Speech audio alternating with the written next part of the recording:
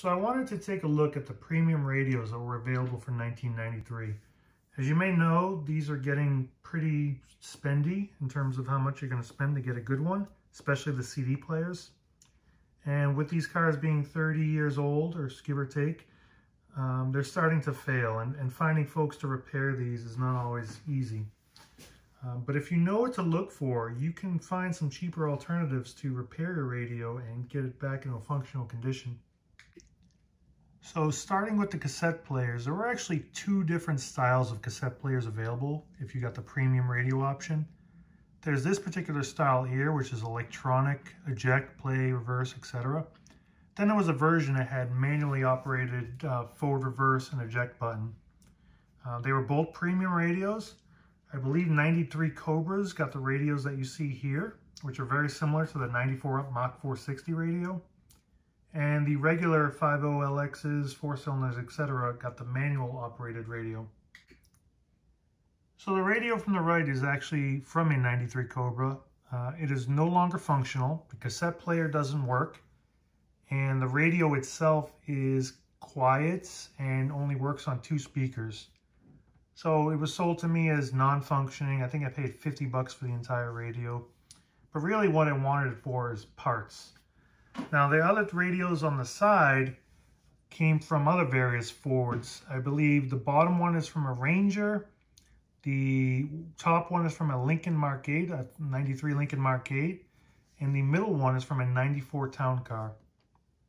I paid, I think 15 bucks for the Ranger radio and maybe 50 bucks for the other two. Um, but that's to go and show you that you can get these radios in functional condition. All three of those work perfectly fine for pretty cheap if they're not this specific Mustang radio that is in, in high demand. In functional condition, these radios are probably in the three, $400 plus range. But if your radio goes out, you may not need to go and seek out one of those other radios in order to get yours back in the road.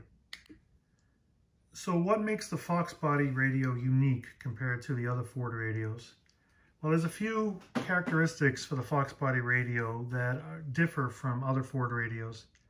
First of all, as you can see, it has this tray that mounts underneath. Now, this is actually part of the structure of the bottom tray here. So as I tip that up here, you can see that it has a plate that is riveted to the bottom of the, the radio that allows for the cup holder to bolt to that. take a closer look at that in a moment. Uh, but other features, as you can see here, are the squared edge along the Fox body radio.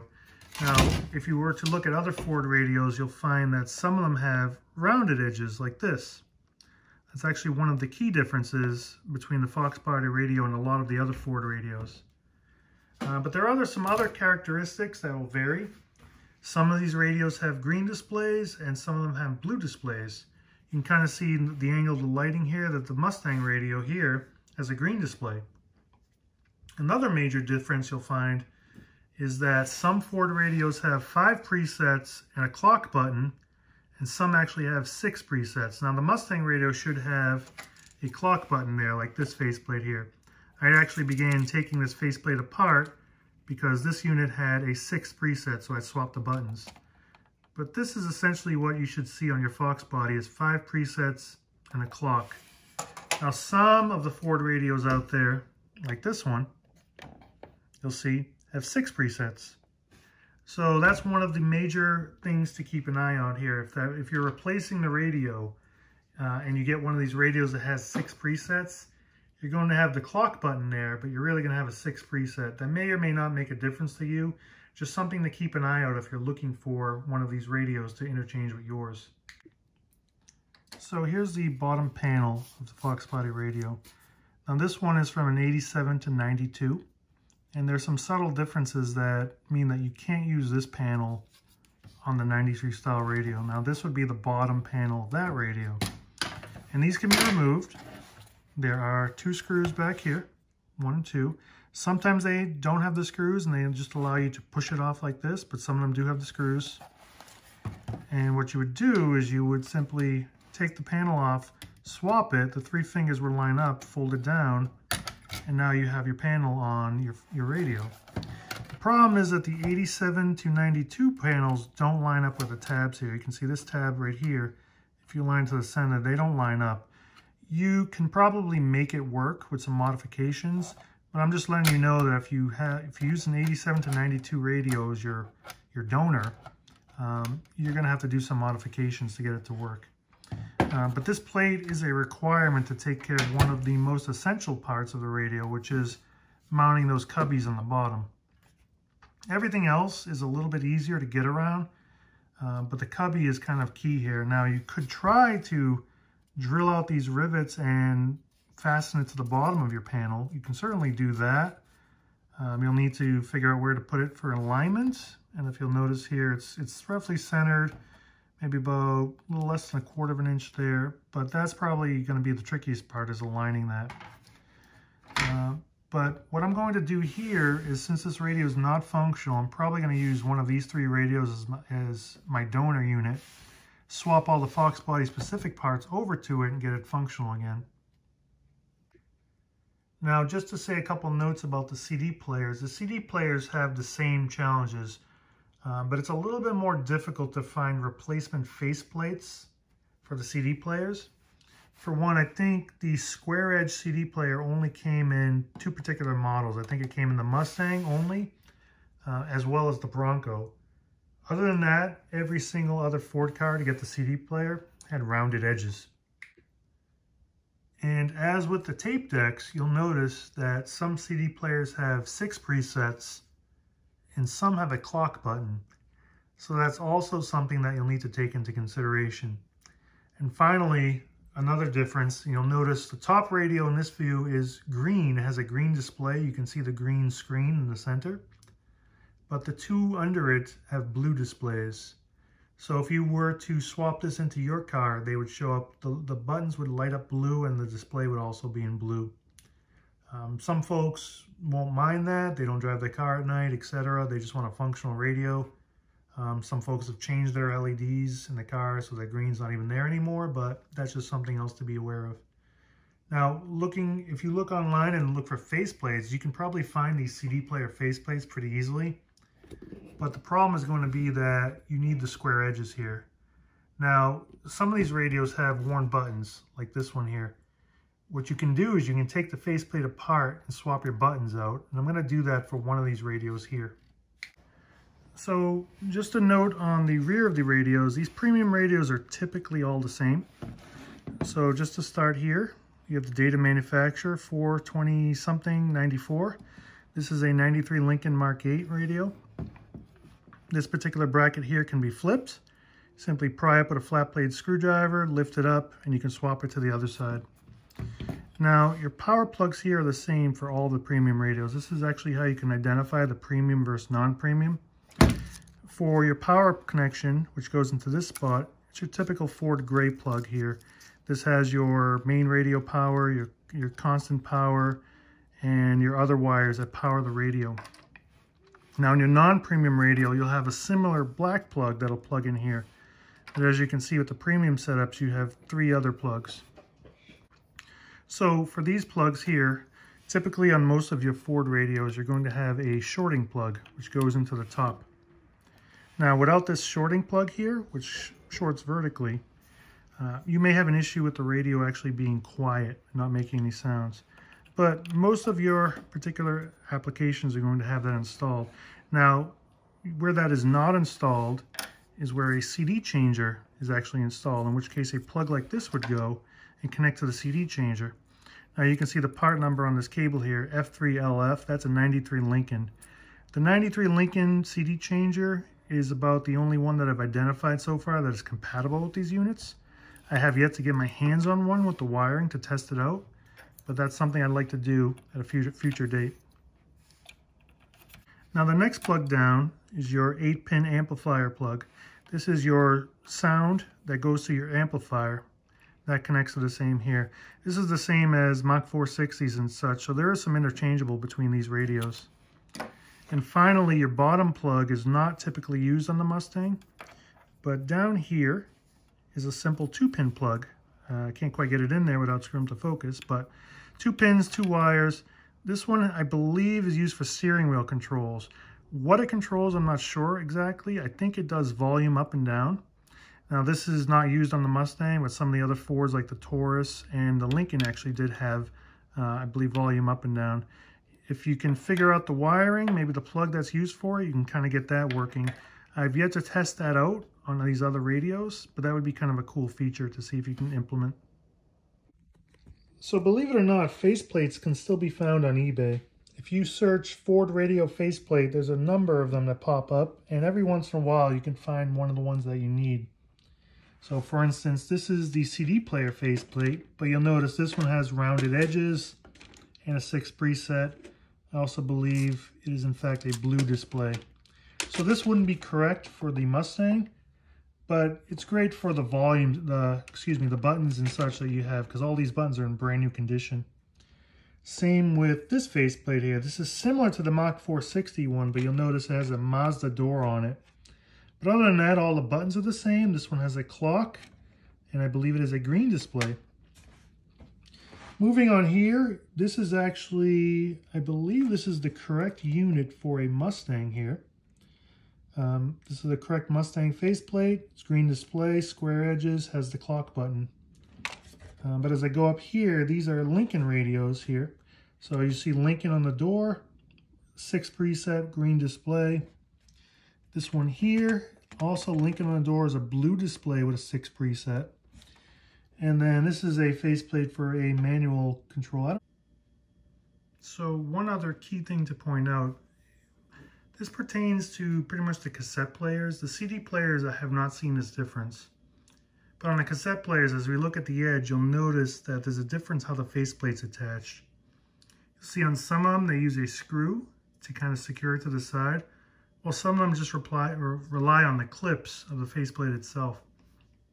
Now the Mustang does not have the screw, and you'll notice two of the three radios here that I've got do have the screw, and one does not. Now, the difference also applies to the faceplates as well. So this is the faceplate that belongs for a Mustang. You'll notice the edge is smooth without that screw feature. This one is for a Lincoln, but does have the screw feature on it. Now, I've kind of studied these and I do think that you can remove that tab feature and use that faceplate. Um, so I don't think it's too much of an issue if you have a Dremel and some time. Uh, but for my needs here, the radio that I'm actually going to use is this bottom one here. So as I move these two out of the way, I'll reposition these and show you why. So this unit here also has a green faceplate, green display, and the clock button here. So it'll be very, very similar to what the Mustang has. Uh, but as you saw, this one has these screw holes on the side. So I'm going to use this Lincoln faceplate, which has the 6 preset and the Lincoln door. So what that means is that I'm going to actually take use this faceplate for parts take the clock preset off and take the Ford door off. So that's going to be quite a little bit of part swapping here to get this unit working. Um, but really what I'm using here is a new radio, and I believe this is the Ranger radio. I could be wrong. F3ZF 19B165AF. So I think I paid 15 bucks for this radio. The cassette player works. I've tested it. The radio works. I think I paid 20 bucks for this faceplate. Actually, no, I'm pretty certain I paid less. I think I paid 20 bucks for a group of four or five of these. Um, so this faceplate was maybe five bucks, and I think I sold the other ones to make some money back. But I'm going to use this faceplate on this radio, and I'm going to swap out the door and the number six preset. So step one is to remove the bottom radio storage tray off the Mustang radio. Now you'll notice here that there, these two radios use different methods of attaching the top and bottom plates. The unit on the left simply just presses on with some detents to hold it in place, while the unit on the right uses a T8 Torx style bit to hold the plates on. Now they are interchangeable, uh, but you'll need a Torx bit to remove it off this unit. So I'm going to go ahead and remove the bottom plates from both of these. You simply remove the two screws, get under here with a small screwdriver, pry it up, and then you can kind of peel the edges off here. It's pretty easy to do. So to remove this clip, you're just going to come under with a small screwdriver, flip the tab, and pivot it out of the way. Now to remove this, simply come under here with a small screwdriver and lift that up. Now this might take a couple tries. Basically, you're going to lift it up while trying to peel the edges away. It's a little bit tricky and I might need to do this off camera here. Okay, so with the lift it up, simply peel it up, kick it to the side, and there you go. It's the same on the other radio as well here. Pivot it up, and there you go. Now one thing I did notice when I was looking through my radios, this is a different radio than the one I'm working on. But you'll notice here that this bottom plate has one, two, three, four, five rivets.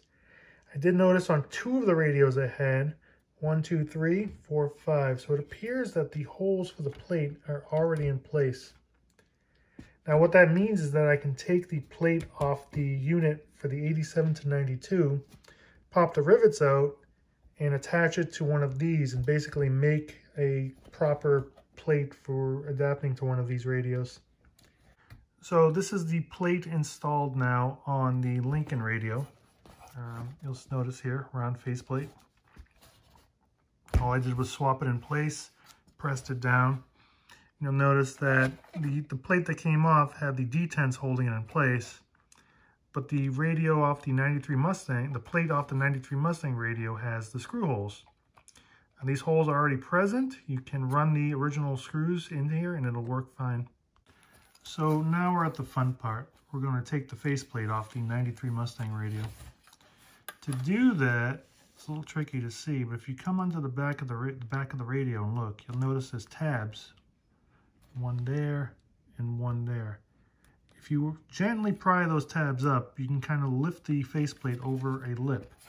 There's two on the top, and then there's two on the bottom here and here. So I just took a small screwdriver, went under the lip and gently pried it up. And the faceplate will then come right off.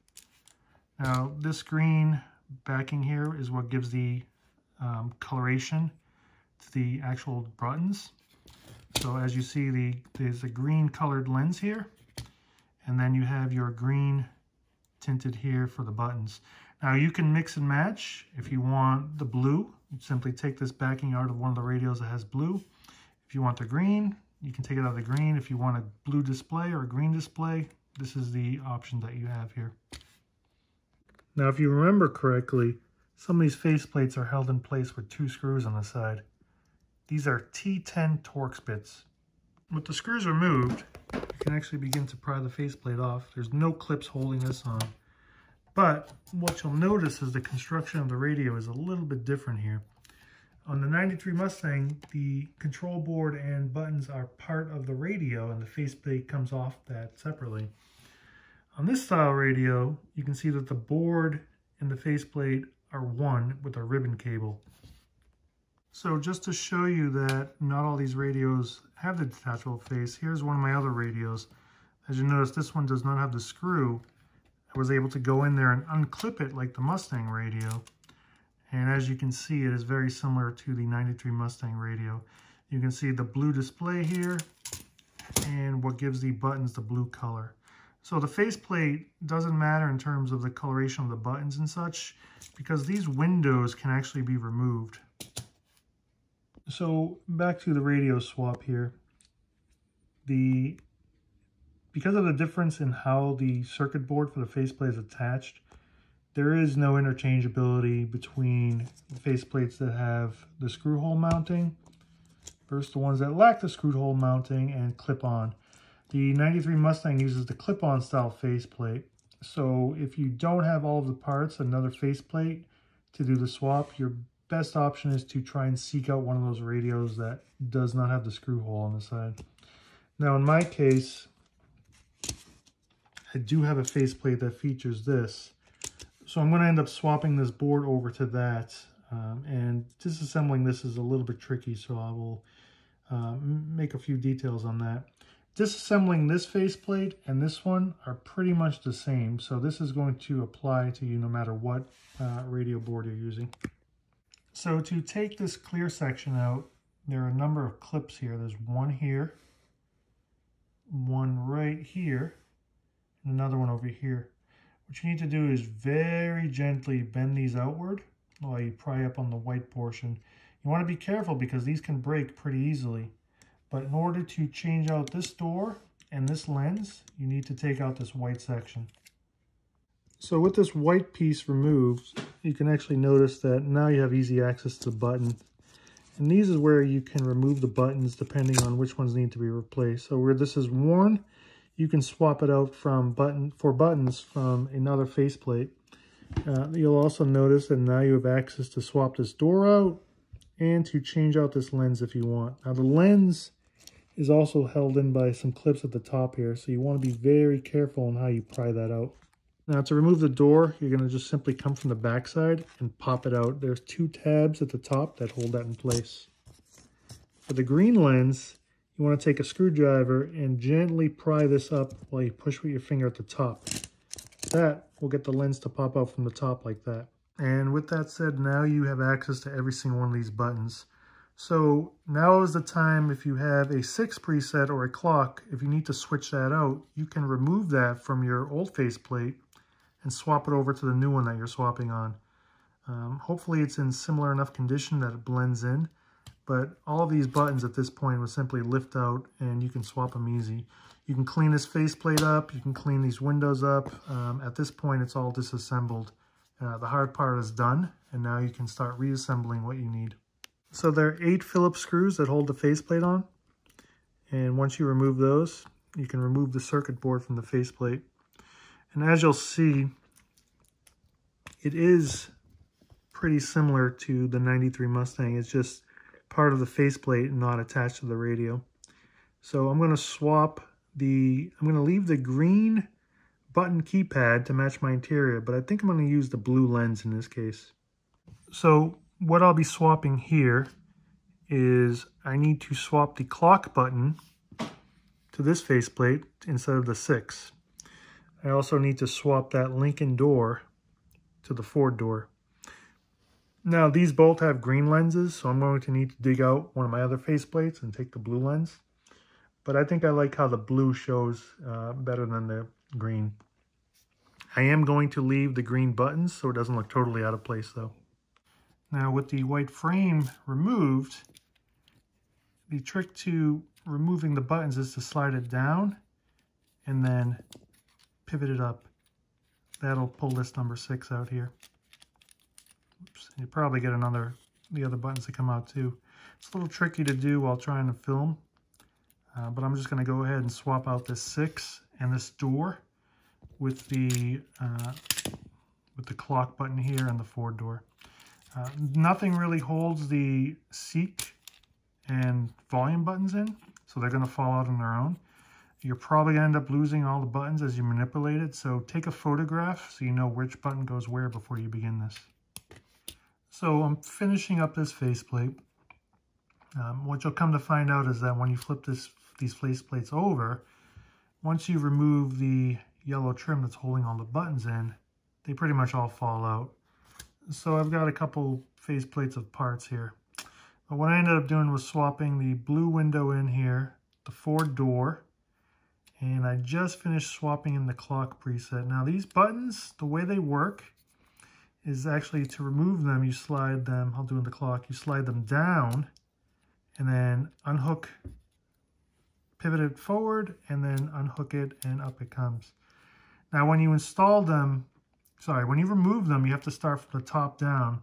But when you install them, you have to go from the bottom row up. So in other words, if you're changing the six for a clock or vice versa, you have to remove the three first and then the clock. And then when you go to install it, the opposite now. You'll notice here, there's a hook for the bottom and then two teeth for the top. What you want to do is put it in to the bottom and then just simply push it up to engage the two top teeth there. And you'll notice they all want to fall down. But once you get the clock in, you'll do the same for the three. You'll kind of come in hook the bottom piece and then push everything up. And at that point, you'll want to flip it over and reinstall that white plastic frame.